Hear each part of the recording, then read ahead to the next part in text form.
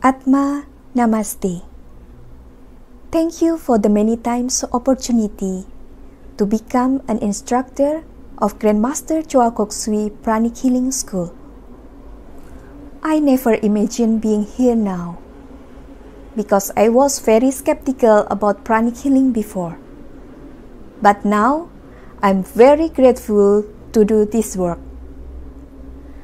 So for me, being an instructor is no longer my self interest, but it is the will of the soul to manifest the divine plan in my life journey.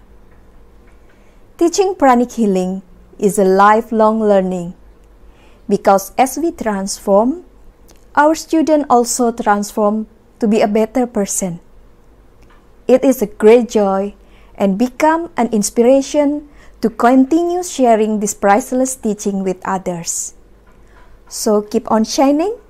Together we share the light and joy to help manifest heaven on earth. My name is Cathy and I'm an authorized instructor from Yayasan Prana Jawa Bali under the World Pranic Healing Foundation.